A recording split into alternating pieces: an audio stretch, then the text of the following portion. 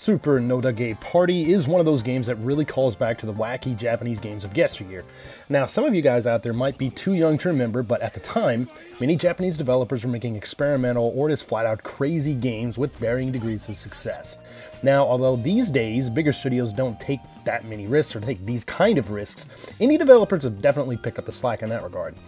Now, for Super Nodage Party to happen, all it took was one Japanese comedian with some crazy ideas and a publisher willing to embrace the insanity.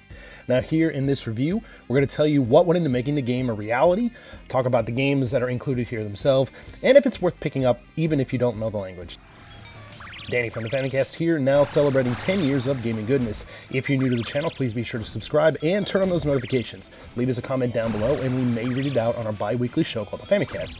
At any rate, today we're taking a look at the return of Japanese wackiness with this Super Nodage Party review. Super Nodage Party.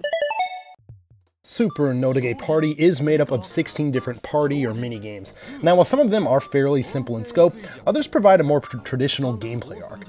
Now, before we actually get into this collection of games, I think it's interesting to actually take a look at the backstory here. So, the idea behind Super Nodage Party is the brainchild of Japanese com comedian Hikaru Crystal Noda. Now, after a successful crowdfunding campaign, Noda managed to raise 339% of his funding goal, originally asking for about 4 million yen, which is like 37,000 US dollars. Fans really destroyed this goal, donating around like 13.5 million yen, which is about $124,000 USD. Initially, Noda was only halfway serious when he first spoke about making the game, but once it was a reality, he got to work. Noda partnered with Hiroyuki Goto, an ex-Bandai Namco employee who was responsible for the Japanese puzzle series Kotoba no Puzzle, Moji Pitan. Together, they worked with Yoshimoto Games to bring the game to Switch. Now, this isn't Yoshimoto Games' first time working with Noda either. And also, they not only that, but they work on titles with a lot of other Japanese com uh, comedians and stars and stuff like that that appear on smart devices uh, and stuff like that. But this is the first time they have a project that actually was released on the Switch.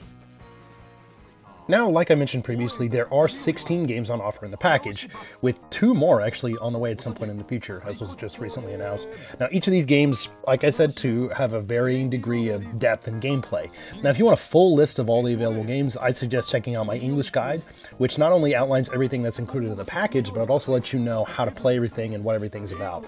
Now, all of the games on offer here are pretty simple, and one might even say sloppy or amateur when it comes to like artwork and stuff like that. Gameplay itself ranges here from simple to slightly complicated. Now, some of the simple games actually include the following. Tsurikawa. Here, you're tasked with basically trying to keep a crudely animated version of Noda on his feet while he's in a moving and stopping train for as long as you can. It's a time attack type of deal. You just press left and right. Marshmallow, ikura yakiru kana? Uh, here you try to roast a marshmallow with just the press of a button in the fireplace while grandma isn't looking. If she spots you before you finish roasting, you lose. Super Block Kuzushite. So basically this is like a breakout clone where you don't control the paddle at the very bottom of the screen like you would usually, but rather the head of this Japanese comedian, Dekka-chan, and try to avoid getting hit by a ball. If you get hit, your head gets bigger and bigger and bigger. It's pretty ridiculous. Gals Fighter Ouen. So here you select your fighter and then they duke it out. Now, in this game, you don't actually control the fighters themselves, but rather some onlookers that are cheering, which Ouen means like to cheer. So you're cheering these people on, and you also can throw items onto the stage by rapidly pressing a button and stuff like that. And these items can either help or hinder the fighters. Now, some of the more complicated games include Futomomo ga tetsu no you ni katai otoko tetsuji. So, uh, here, I know it's a bit of a mouthful, here you're in control of a man with rock hard thighs in this beat 'em up type of a game. You can jump, you can move around this, you know, this environment, and you can also deflect projectiles from gun wielding enemies as they hit your thighs. Now, yeah, basically you just have to make sure you're standing in the right position to deflect uh, the incoming projectiles and stuff like that. Um, there are power ups here and multiple levels to go through. Onion Quest. Now, an obvious nod to Dragon Quest, this is an RPG complete with a party of characters, random battles, leveling up, and even a way to save your progress, so this is definitely one of the more complicated games that are in the package. Hayaoshi Quiz. Now, basically here, you're controlling a character through a maze to reach a button. Sounds pretty simple, right? Well, once you press the button, you have to answer a question that has been scrolling across the bottom of the screen. Of course, questions are all in Japanese, with the exception of a few math-related problems. And they change every 15 seconds, so you really need to know some Japanese here. I was playing with my wife, who is a native Japanese speaker, and yeah, she could obviously read Japanese a lot faster than me. Uh, so yeah, I, I, got my ass kicked uh, some of the times with that. Tsugi orimasu, hayaoshi bus. So here you're riding a bus, and you need to get off at a very specific stop. Now, this is shown at the top of the screen. Well, the next stop that you're that the bus is going to is scrolling across the bottom of the screen. So basically, you only need to press a button on the controller here, and, and again, kind of with the previous Hayaoshi game, Hayaoshi means like basically push as fast as you possibly can. Um, but you'll need to be able to read Japanese here. Um, you need to hit three right presses to win. Again, I was playing with my wife, and yeah, her reading skills in Japanese are a lot better than mine because she's a native speaker. But yeah, there it is.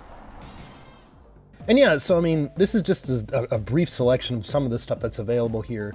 Um, you know, my favorite things to play, I really like the Tsurikawa thing, you know, the one on the train. I thought that was pretty fun.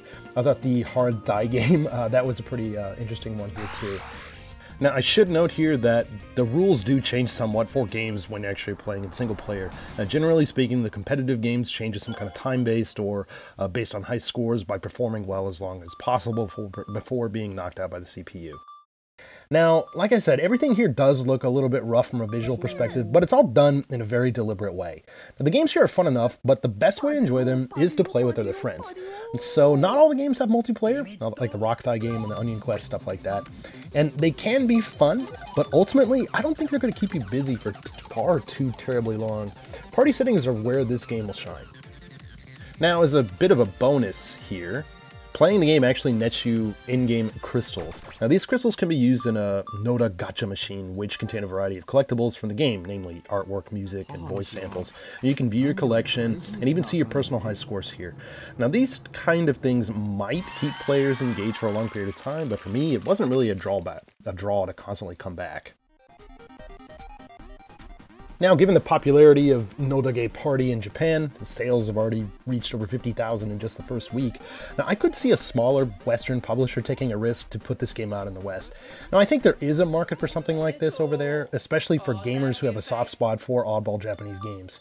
Now, as things stand right now, while gameplay here is fairly simple for pretty much all of the games, sans maybe like games like Shogi 2, the sequel, hit sequel after a thousand years to Shogi 1, or this updated version of Mahjong. You know, some of the jokes or cultural references here will definitely fall flat for people that don't know about that stuff. Now, some things here are easy enough to understand, but the more story-heavy stuff, of which there are only a few, that stuff is just going to kind of go over heads of non-Japanese speakers and or people who aren't familiar with the current lineup of Japanese comedians. Some of those guys actually make appearances. Guys, I don't think there are any girls. Uh, they actually make appearances here. Super Nodage Party is definitely a very weird game. Noda himself kind of has embraced this kusoge here and knows that some of these games are not, are so bad that they're good. Now, while I don't think anything on offer here is really bad per se, there really isn't a whole lot of depth here if you're playing the game by yourself. Multiplayer is definitely where the fun lies with Nodage Party. Now, throwing back a few beverages with your friends and handing around some controllers is where you'll get the most enjoyment out of the game. It's not for everyone, obviously, but there is some fun to be had. As always, thank you guys out there for checking out this review. If you like what you see, please feel free to drop this video a like. If you're new to the channel, please be sure to subscribe. We've got tons of podcasts, video reviews, looks at Japanese games just like this, and a whole lot more. Also, be sure to check out thefamicast.com for updates on Japanese games. Again, this is Danny from the Famicast. Thanks for watching, and we'll catch you later. Game over.